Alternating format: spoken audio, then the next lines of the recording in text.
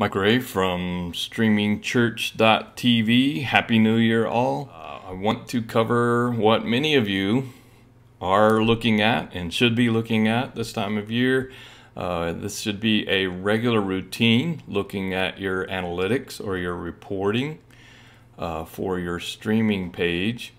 And so I just wanted to cover a few of the components uh, of the report. Uh, I, most of it is self-explanatory.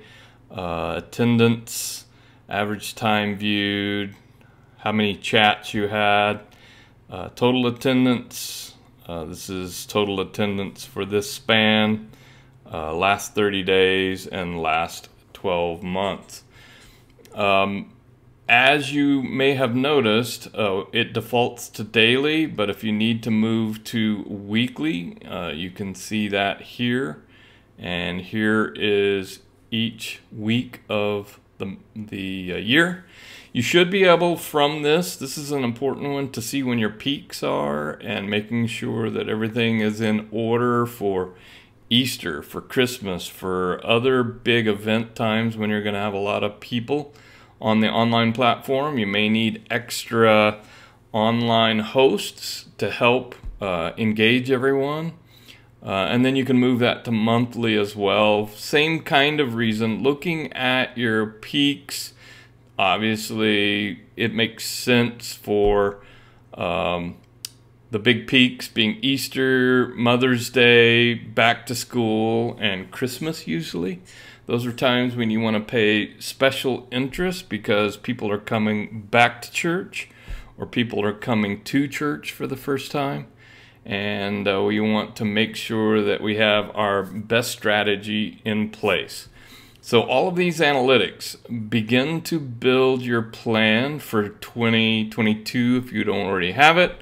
Uh, and we'll help you with that. We do have a webinar coming up next month uh, where we're going to really help you hone uh, your goals and your plans and your strategy for your streaming church, uh, your church online streaming.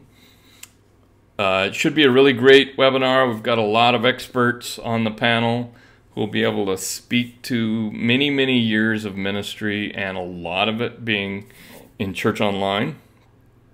And how to begin to help your grow within the strategy that you as an organization uh, have. What is it that you want to accomplish with your streaming service online? And we'll help you do that. We've got a lot of tools. And sometimes out of these strategy sessions, uh, many of you have made suggestions. And we have added those suggestions as tools to help us connect with people in a relational way to help them come back and help them take a next step and help them move forward and become part of the organization uh, and helping you grow the organization as you move forward.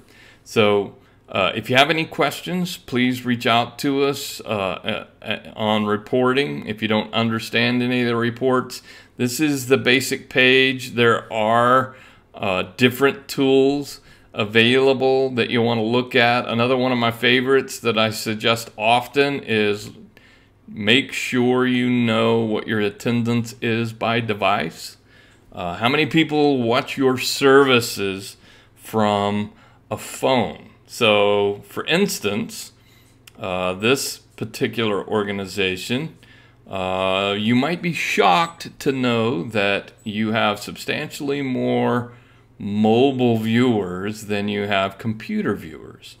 So, is your setup or are your tools optimized? Your design, your look, uh, the features that you have available, uh, is it optimized for people who are watching your service from a phone or from a tablet?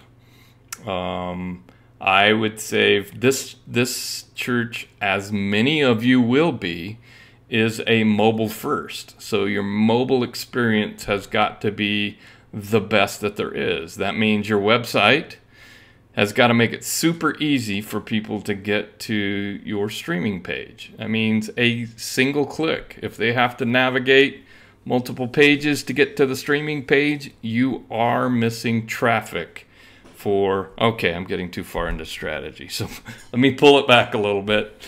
But within that, take a look at these numbers and help that inform your decisions on how you're planning to grow your church online. Uh, church online is has become a critically vital tool to all churches, and we want to optimize and increase how effective and how useful it can be, uh, and many times by making some really small and simple changes to make it much more impacting for the people who attend your church and for people who are looking for a church to attend. So, this has been Mike with StreamingChurch.tv. Happy New Year.